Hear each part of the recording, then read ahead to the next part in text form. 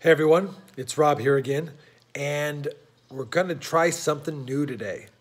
So, I know we all have questions about what does unsearched wheat pennies means when you purchase from an eBay uh, seller. I decided to check out on uh, one of the online sales sites for unsearched wheat penny rolls, and what I was looking for is good reviews. I was taking a look at people that had at least four star reviews, and I also wanted to be fair to the seller. I didn't want to buy one roll or a couple of rolls. I wanted to be fair, and so I looked for lots of at least two or three or four or five rolls, and then I wanted to buy multiple lots at multiple times to see if that changed my luck, so to speak. So I went ahead and I purchased 12 penny rolls, and let's take a look at what unsearched wheat penny rolls really yields, at least from this seller. We'll let you be the judge along with me of whether these rolls were truly unsearched or not. Let's take a look at these rolls. So here the rolls are. Looks like they're from the Merchant's Bank. Now, I'm not too foolish to not believe that it's potentially been unrolled at one of the ends and then searched through and then conveniently placed back in the roll and folded back over. Now, I'll tell you that this seller claims that they got uh, 30 of these rolls in an estate sale. So I bought, like I said, 12 rolls. It was four lots of three. So I'm very curious to see what's in these. We're hopeful that we'll get a good mix of teens and, and 20s and 30s in here. Not just a bunch of 40s and 50s, but I also know we'll probably get a bunch of 40s and 50s, mainly because they were minted in such volume compared to the teens and, and, and 20s and 30s. But I will get into the rules and I will show you anything that needs to be shown. Wish me luck. Let's go ahead and get into this first one. See what kind of uh, noise we had.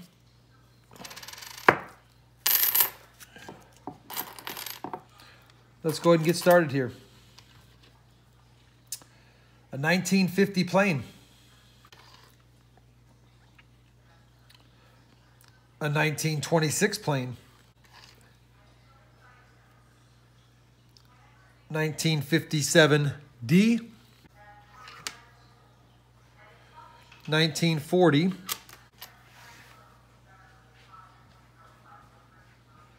Take a closer look at this one. That's a 1925D, and a 1925D has 22 and a half million minted. So that's it's not a bad coin whatsoever. It's in very poor condition, but still, it is a low mintage 20s Wheatie. A 1929D, which is about 41.7 million. So that's three 20s, a 40 and two 50s in the first uh, few coins. Looks like a 1945 D. So far, pretty good mix. Looks like a 1939 plain, And it is. So that's our first coin from the 30s. 1951D. 1954S. And, you know, at least it's an S mint mark. And we've got a pretty good mix of mints so far. Hold on.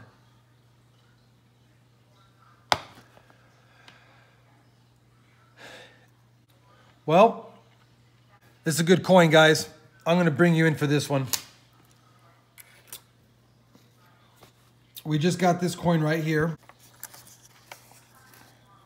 So we are 11th coin in. It's a 1909. It is not an S, but it's not just your regular 1909. It is a 1909 VDB. And you can see right here the VDB. So the 11th coin into the very first roll, we scored a 1909 plain date VDB. Now mind you, only 28 million of these minted. That is the most of the VDB series. Obviously, the S had uh, 484,000. And overall, this is a pretty nice. This is a pretty nice 1909. Honestly, it's not uh, perfect by any means. It's not an AU coin, but it's in really good shape. Good detail in the back. There's a few cuts in it, which is kind of a bummer. But overall, a great looking coin. I'm sorry I'm shaking here. I'm a little excited. But like I said, I'm 11 coins in.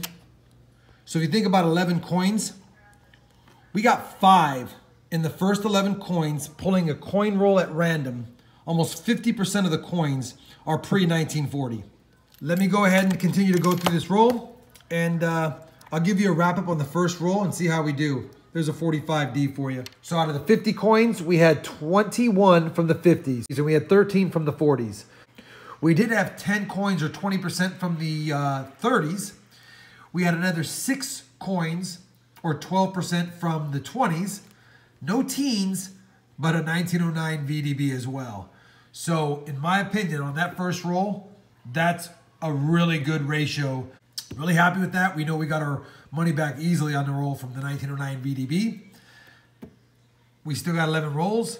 So let me keep stacking the coins and keep searching. If I come across something ridiculous, I'll show it to you. Otherwise, we'll keep putting uh, them up, up here and I'll give you a roundup after the second roll. Let's see what else we get. Thought I'd share this coin with you guys. It's a 37S. And it has that proof shine to it.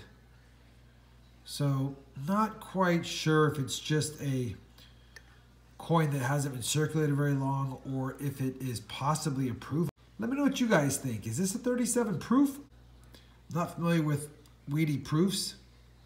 I'll just tell you the lettering and the date is all stamped very deep. Anyway, we'll keep moving on. All right, so roundup after the second roll. We are 100 coins in now, two rolls in. Got 41 from the 50s. We've got uh, 26 in the 40s. We've got 25 in the 30s. We've got, yeah, eight in the 20s. We got our first teens coin. It was a standard 1918 plain date. 290 million of these minted. Best coin in that roll, probably just because of age, is the 1918. Let's get to a third roll. Do you see it? Not so sure that's a Wheatie, guys. That's a uh, Canadian copper cent, 1953. young head. Hmm, interesting. see what else we get in this roll. Well, we just got our second 1909 plain went ahead and checked it before I showed you guys. It is not the VDB. So, you know, 72.7 million of these minted, but it's always nice to get a second 1909 though. I will take it. Kind of gypped on this one. 1959, it's not a mule cent. Got a little excited because it was like this when I first got in there and I thought, is that say 59 when I saw the spray painted one? And I was like, if this back is a, is a Wheatie, someone missed it. Well, they missed it all right. It's not a Wheatie if it's got a 59 on there and it's a memorial back. But, kind of a cool uh, little dynamic duo there. We'll be back in a little bit. So we're almost halfway through the roll and I'll give you guys a roundup here in a minute or halfway through the rolls, I should say. But I told you I'd bring in when I found something kind of nice. We've got here, not the greatest condition overall, but a 1932D. And if you know anything about the 32 year during the Great Depression, they only minted a total of 19,500,000 coins and only 10.5 million of those were from the Denver Mint. So it's a tough year to get in any condition. And we've got our first 32D of the rolls. So good key date. Again, not the best condition, but we will take it every time. Let's see what else is in here. All right, we're exactly halfway through the 12 rolls, and I wanted to kind of catch you up real quick on where we're at. We've got 135 of the 50s. So that's roughly about 40, a little over 40% on the 50s. The 40s, we've got 61, so about a little over 20%. The 30s, we got 60. Well, not quite 60, we're 58. So not quite 20%. On the 30s, we've got 37, so roughly 13%. We've got five from the teens, two 1909s, one's a VDB, a 59 Lincoln Memorial, not a mule, and then a 53 Canadian copper. So that's where we sit after a halfway mark. Let's dig in a little bit more and see what we get in the next uh, half. Down to the last three rolls, and in that fourth to the last roll, we got our third 1909 year penny. Another not too bad a condition overall. You can see the detail and some of the gloss still. It is a, another VDB. I didn't even see it down there, but you can just make out the initials.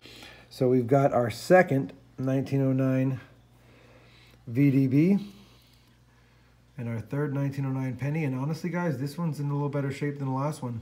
So pretty pleased with it. I'll take a closer look under the loupe, see if I see anything else with it. But uh, yeah, not doing too bad. So I'm on my last three rolls, like I said a minute ago, and I've been stacking them up, and look what popped up, guys. Look at this. Looks like an 1888.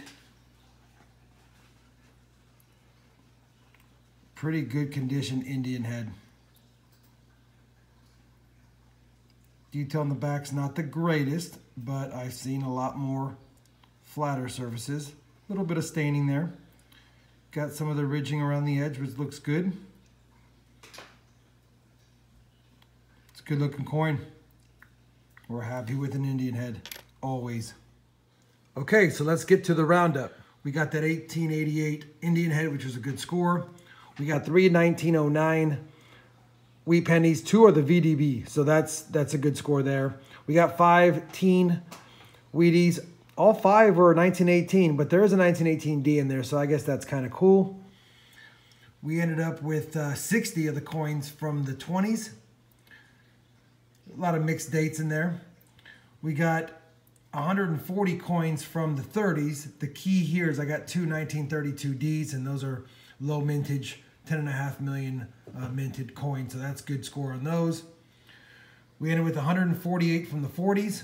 A lot of good mix there and 238 from the 50s. So roughly 64.5% were from the 40s and 50s. And if you toss in the two throwaways, really about 65% of the coins were 40s and 50s, which is what to be expected. Not a lot of key dates. Again, a couple of good scores. At the end of the day, I'd rate this as a pretty good uh, lot overall. I would say because of the lack of the teens and a lack of the key dates in the 20s, that these probably were not totally unsearched. That looked like each lot had a couple of good coins in it just to keep uh, people coming back and buying. I'm not unhappy with my purchase.